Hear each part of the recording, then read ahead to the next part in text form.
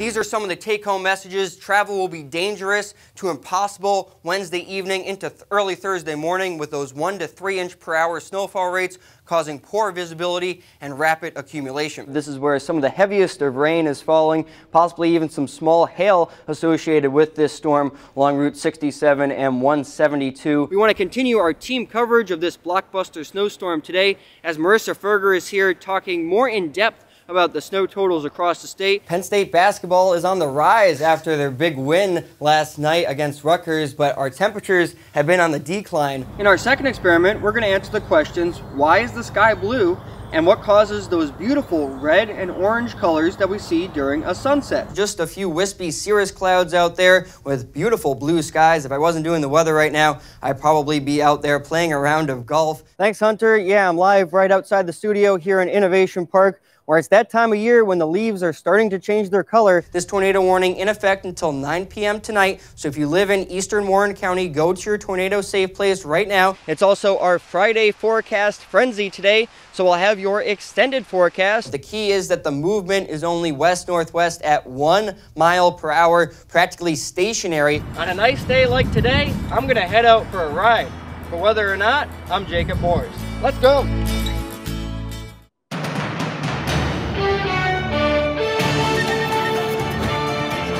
Good afternoon, everyone. Our warm-up continues today, and it's a gorgeous conclusion to the work week as you're taking a live look outside at Mount Nittany with plenty of blue skies out there. Right now, a temperature at 64 degrees, quite mild for this time of year. Winds out of the west-southwest at 14 miles per hour, ushering in that much more mild air mass. And that'll stick around briefly over the next couple of days, but man, what a difference a couple of days makes in terms of weather here in Pennsylvania. On Wednesday, just a couple of days ago, we had snow squalls moving through our area. High temperature only made it up to 33 degrees.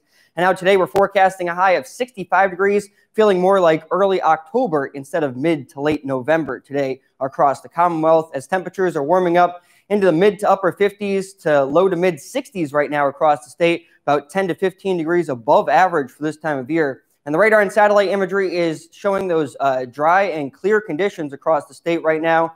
And across the entire lower 48, not a whole lot of weather happening, just a really weak cold front across the Midwest. Otherwise, quiet weather conditions across the country. But our weather pattern will turn more active as we get into the next work week. So time this hour by hour for you with future weather. You see clear skies throughout the rest of the day today. Those clouds will be on the increase in the overnight hours tonight. We'll be seeing mostly cloudy skies throughout the day on Saturday, but the mild conditions will be around. And today and tomorrow are both great days if you're planning on traveling out of state college and home for Thanksgiving break. For the day tomorrow, a high temperature of 54 degrees here in State College with mostly cloudy skies.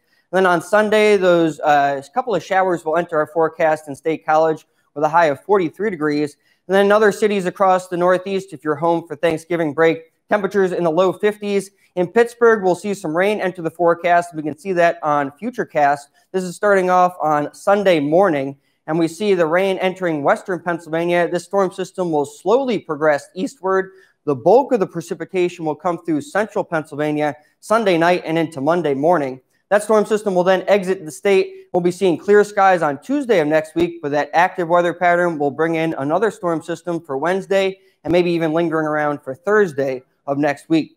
Here's a five-day temperature trend for State College. We'll see the next couple of days with mild temperatures well above average for this time of year before temperatures will dip below average for the second half of your weekend and for a couple of days to start next week.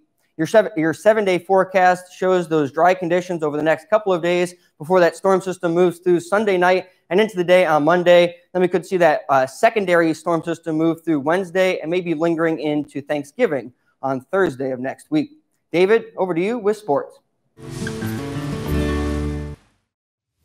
It will be bitter and breezy out there tonight with temperatures falling back into the teens and single digits across the Commonwealth. Wind chills below zero across the northwest with winds at times gusting to 30 miles per hour. Snow showers will taper off across the west tonight and clouds will be clearing, but watch for that refreeze as some areas have melted throughout the day today and then they'll refreeze with these cold temperatures tonight. Then in the day tomorrow, more sunshine across the central and eastern half of Pennsylvania. Low clouds, those should hang tough in the west as snow will arrive overnight south of the turnpike and overspread the entire Commonwealth on Thursday. A plowable snow likely throughout mo uh, most of Pennsylvania. I think the heaviest accumulations might come in south central PA. The snow will taper off overnight as this system pushes out, and we do have to watch a uh, changeover that's possible in southeastern Pennsylvania. A lesser chance of that changeover in south southwestern parts of Pennsylvania, but another storm system moving into our area. Marissa, back to you. With the winter season quickly approaching, it won't be too long before snow starts to accumulate on the roadways across Pennsylvania. The Public Works Department of the city, borough, or township that you live in plays an important role in clearing snow and keeping roadways safe for you to travel on. Today we'll take a closer look at these snow removal efforts here in the Ferguson Township located in Centre County.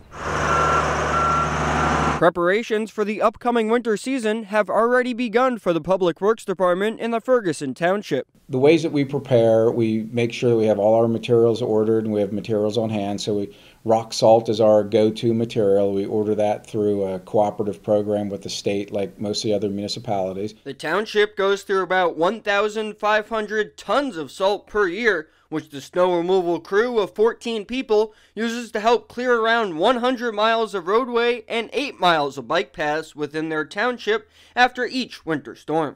The other thing we'll do is just we calibrate our trucks because we have ground speed controls so we can put down the right amount of material uh, depending on the storm and how fast the trucks are traveling. Clearing snow for the over 19,000 people that live in the Ferguson Township and for those who are traveling through the area is not an easy task, as there are some challenges that the Public Works Department faces throughout the winter. I would say the biggest challenge that our crew has is traffic. It is difficult for the guys to clear the roads while the motoring public's out there and while there's vehicles parked on the road. So it's helpful when residents know to you know move their vehicles if we're expecting more than two inches of snow. We understand people need to move around and get to work. To the extent that people you know can wait and don't have to be out there during a storm, that helps the guys get the roads cleared. As the Ferguson Township continues to prepare for the winter, you should also make sure that your car is ready to go over these next couple of months. It's a good idea to have an ice scraper, a flashlight, gloves, emergency flares, and a first aid kit in your car during the winter months. Now is also a good time to check on the tires, the battery, and the antifreeze in your car so that you're ready to go whatever the weather may be like outside. For Weather World, I'm Jacob Morse.